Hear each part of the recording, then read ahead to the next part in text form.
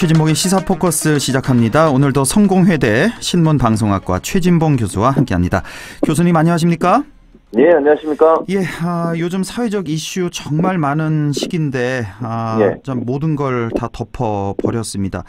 예. 아, 어제 저도 이 방송 라디오 오늘 끝나고 이제 퇴근길에 그 예. 뉴스 들으면서 소식 접하고 예. 너무나 큰 충격받고 그 이쪽 방언으로요 교수님 모르실 예, 예. 텐데 쎄하다는 표현이 있어요. 아, 쎄하다. 쎄하다. 예, 예, 예. 그 느낌 갖고 상당히 좀 음, 불길한 음. 느낌으로 어, 네. 집에 돌아와서 계속 속보를 눈여겨 봤는데 결국 오늘 새벽 0시 경에 이제 숨진 채로 발견이 됐습니다.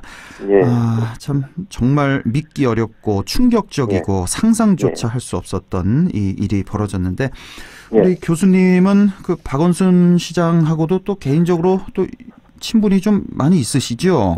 예, 뭐, 개인적으로 뵙기도 하고, 사실은 예. 한, 지난주 목요일도 제가 통화를 했거든요. 아, 그 당시에는 그냥 안부 전화 드렸는데, 오랜만에. 예, 그, 예. 그 밝은 목소리셨고, 아, 언제 한번 만나서 식사하자, 이렇게 얘기하고 끊었는데, 그리고 나서 일주일 지나서 이런 일이 벌어지니까 저도 충격이 크고요. 네, 뭐 상상할 수 없는 일, 뭐 정말, 정말 이게 황망하다는 표현을 쓸 수밖에 없을 것 같은데, 음, 어, 너무 좀 놀랍기도 하고, 어떻게 이런 일이 있나라는 생각이 들어서 사실 믿기지도 않았어요, 제가. 그리고 제발 좀, 어, 사람만 계셨으면 좋겠다, 이런 음. 생각이 들었었는데, 좀 네. 이렇게 돼서 너무 좀 가슴이 아프고, 좀 황망하고 뭐 이렇습니다. 어떻게 표현하기가 좀 어려운 것 같은데요. 예, 박원순 시장 하면 뭐 인권 그렇죠. 변호사로 네. 오랫동안 활동했고 시민단체 예. 참여연대를 세우고 그랬었죠. 삼선 아, 서울시장으로서 10년, 아 9년 이렇게 시장직을 유지하고 있는 늘 예. 바른 모습을 보여오고 청렴하고 도덕적인 모습을 보여왔던 분이기 때문에 예, 예, 예. 참더 충격이 큰 것 같습니다. 아, 그렇습니다. 지금 이렇게 보면 예, 예. 딱 2년 전 7월이에요. 노회찬 어, 전 의원 이- 일이 있었고 예, 예, 예. 1년 예. 전 7월에는 정두환 전 의원 이 일이 있고 예.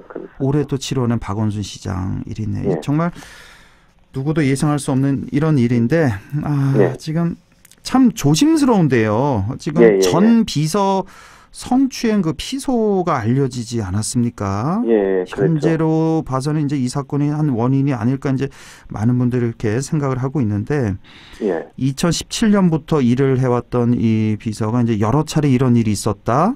다른 네. 피해자도 있다라고 경찰에서 이렇게 진술한 걸로 이거는 좀 확인이 된 사실이죠. 예. 이게 참 어떻게 우리가 어, 생각을 해야 될까요? 이 일을. 뭐 일단은 그러니까 고소가 접수된 건 맞는 것 같고요. 예, 다만 예. 이제 그 한간에 떠돌고 있는 뭐 그 지금 오늘 그 앵커가 말씀하신 그 정도 수준이 아니라 음, 예, 예. 아주 저도 그걸 받았는데 아? 디테일하게 아주 자세하게 뭐 마치 그 피해자가 쓴 것처럼 해서 SNS에 떠도는 글들이 있는데 그건 확인 안 된 거거든요. 아, 예. 왜냐면 그게 뭐 고소인이 그걸 뭐 제출하거나 아니면 뭐 이런 것들을 밖으로 나올 수가 없는 거 아니겠어요. 근데 그런 부분들이 떠돌아다니면서 이제 고인의 명예가 또 실추되는 일이 일어날 수 있어서 음, 일단 고소된 건 사실인 것 같고요. 예, 그러나 예. 이제 지금 현재 상황에서 우리가 그 박원순 시장이 뭐 한간에 떠도는 SNS상에 그 내용이 진실인지 아닌지는 아무도 모르는 거 아니겠습니까? 그렇습니다. 그래서 너무 이렇게 이, 이 그런 글들을 보고 이렇게 다른데 퍼나르거나 아니면 그게 전부인 것으로 인식하기는 아직은 한계가 있다 저는 그런 생각이 들어요. 음, 예. 뭐 어쨌든 고소가 된 상태인 건 분명하지만 음, 고소라고 하는 것이 뭐그 어, 72비를 따져봐야 되고 또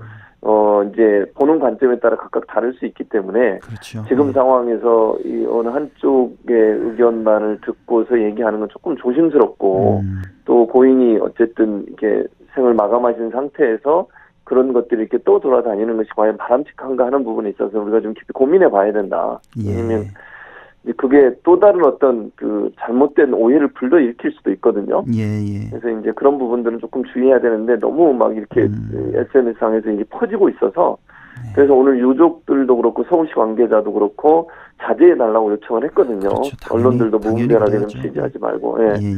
그래서 이제 그런 부분들이 음. 또 다른 어떤 논란이 되지 않을까 좀 어리, 어, 안타까움이 있고 그렇습니다. 가능한 한 좀 그런 그 추측성 보도 확인되지 않은 뭐 음. 검찰이나 경찰이 공식적으로 발표한 내용이면 모르겠습니다만 예. 그런 부분들은 우리가 얘기하는 것은 조금 그렇습니다. 주의할 필요가 있지 않겠나 하는 생각이 듭니다. 예, 지금 뭐 최진봉 교수님도 그렇고 저도 그렇고 예. 지금 방송이니까 상당히 예, 좀 예. 말을 가려서 조심해서 하게 되는데 예, 예, 예. 어, 이 피해자 그 여- 여기서 얘기가 나온 김에 아, 지금 일각에서는 주장하는 게 이제 고인 추모도 중요하지만 물론 예, 예, 워낙 예. 큰 인물이셨으니까 그렇지만 예. 이 성추행 피해자의 상처와 고통에도 주목해야 되지 않냐.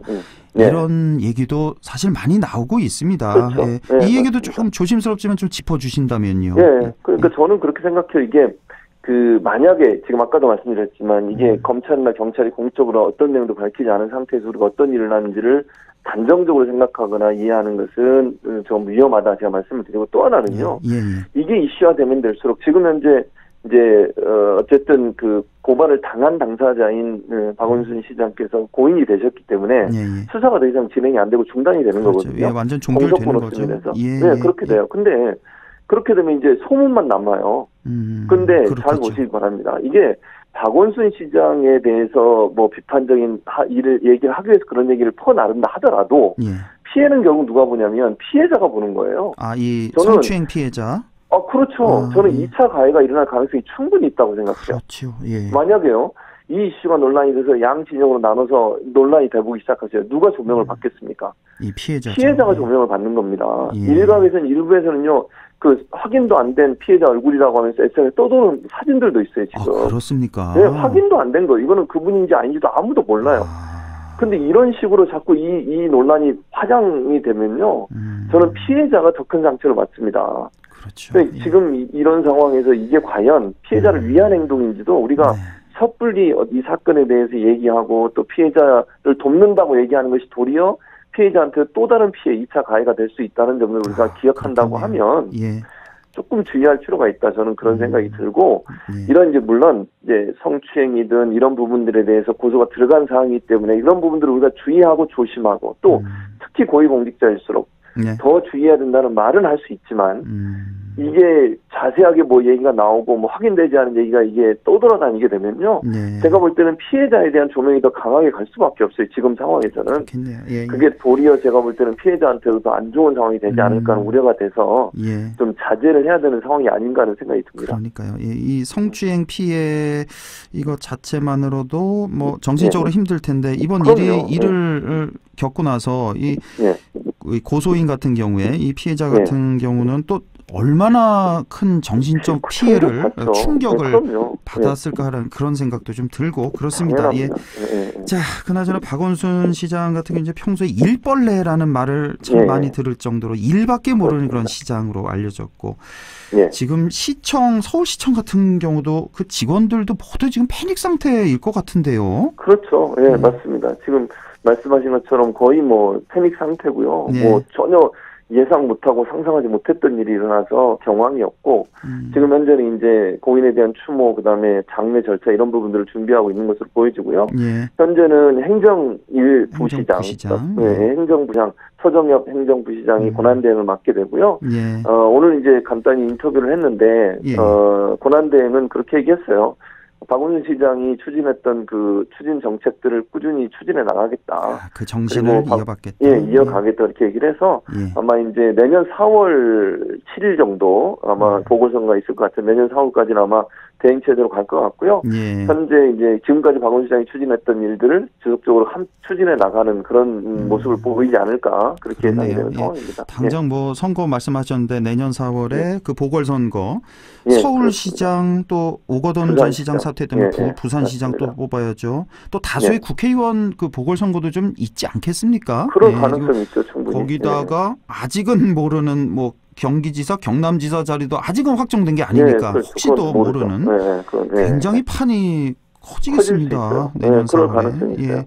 그래서 김종인 지금 비대위원장 같은 경우에는 내년 그 보궐선거가 대선 앞두고서 아주 중요한 분수령이 될 수 있다고까지 얘기를 했어요. 그래서 음, 아직까지 뭐 지금 현재 확정된 건 서울시장, 부산시장이지만 예. 또 이제 국회의원 보궐선거도 있을 가능성을 우리가 배제할 수. 없고 또 예. 다른 지자체장들도 지금 재판이 완전히 끝나지 않아서 음. 어떤 경우가 나오냐에 따라서 선거판이 훨씬 커질 수 있는 상황이 될 수 있다 이렇게. 볼 수 있을 것 같습니다. 지금 뭐 더불어민주당 상당히 좀큰 음, 충격과 타격이 그렇죠. 불가피할 네, 것 네. 같습니다. 소위 예, 그 당내에서 보면 이번 선거에서 지난 총선에서 박원순계라고 불리는 의원들도 많이 있습니다. 뭐 예, 예를 들어 뭐 그렇죠. 박홍근, 남인순, 기동민, 김원희, 천준호 또 춘천의 허영 어, 의원까지 예. 등등 상당히 많은 걸로 알고 있는데 이분들 큰 충격 받았을 것 같고 예. 아 어떻습니까 그 민주당 내 지금 분위기 사실은 그 부산시 오거돈 전 시장 있었고 예. 충남 안희정 전 지사 있고 지사. 이번 예, 박원순 그렇죠. 서울시장까지 이렇게 민주당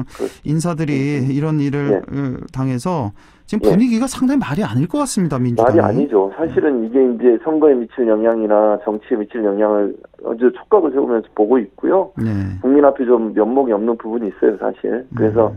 이런 부분들은 깊이 이제 민주당이 반성하고 사과하고 어쨌든 이제 어, 어느 정도 장례 절차도 마치고 추스려지면 네. 뭐 고인에 대한 뭐뭐 확인되지 않은 내용의 추측성 보도는 나가면 안 되겠지만 민주당 네. 입장에서 어쨌든 국민 앞에 어 좀 죄송한 마음을 표현할 거라고 저는 봅니다. 그게 그렇지 않으면 사실 이제 선거에도 영향을 미칠 수 있고 정치의 여러 가지 여론들이 음. 상당히 안 좋은 쪽으로 흘러갈 수 있는 그런 부분들도 있어서 네. 상당히 촉각을 곤두세우고 있는 것 같고요. 음. 어쨌든 이런 일들이 이제 어- 왜 민주당이 계속 일어나느냐 하는 문제에 국민들이 조금 이제 의문을 제기하지 않겠습니까? 그러니까 지금 마지막 질문으로 어, 예. 그걸 드리려 고 그래요. 이제 권력형 성추행, 성폭력 사건 네. 이 이게 앞으로도 또 터져 나오지 말라는 법도 그렇죠. 없구나 이런 네, 생각을. 국민들이 갖게 될 것 같단 말이에요. 그렇죠. 좀 어, 전체적으로 보셔서 왜 네. 이런 권력형 이런 사건들이 네. 이렇게 계속해서 발생하는 걸까요? 어떻게 보십니까? 그 저는 조금 이해는 안 돼요, 사실. 왜냐면 고위공직자라고 하면 되죠. 그렇게 했을 때 어떤 결과가 오는지를 뻔히 알고 또 뻔히 이미 알죠. 여러 뻔히. 예. 사람들이 그런 일을 통해서 이렇게 몰락하는 걸 봤잖아요. 그러니까요. 근데 왜 이게 반복되는지 저도 좀 개인적으로 이해는 안 되는데 이게 순간의 충동을 억제하지 못하고 또 하나는 이제 권력을 갖고 있는 사람 입장에서는 본인이 그렇게 해도 아래에 있는 사람이 어 어떤 폭로를 하지 아- 못할 것이라고 하는 그런 마음이 있는 건지는 제가 잘 모르겠는데 예. 그게 지금 옛날 관점이거든요. 그럼요. 지금은요 네. 그렇게 숨길 수 있는 상황이 아닙니다. 어떤 사람이든. 그러니까 누구든 저는 상관없다고 보는데 음. 모든 사람은 이, 이, 이- 이번 사건을 통해서도 절대로 숨길 수 없고 감출 수 없고 그냥 엉뚱한 당에서 눌려지는 게 아니라는 걸 깨달았으면 좋겠어요. 음. 고위공직자일수록 이런 문제는 반드시 밝혀질 수밖에 없고 인생 전체가 망가질 뿐만 아니라 영원히 정치권에서 떠나야 되는 상황이 될 수밖에 없다는 것을 예. 좀 명심했으면 좋겠고 이런 음. 일이 다시는 좀 정치권에서 안 일어났으면 좋겠다. 음. 국민 안사하면서 그런 바람이 있습니다. 그러니까 이게 개인 한 명뿐만이 아니라 예, 예. 이 국가 전체적으로 봐서도 이거 너무나 예. 큰 손실이니까요. 아, 그럼요. 그러니까 맞습니다. 큰 인물들이 이런데 자꾸 연루되고 예.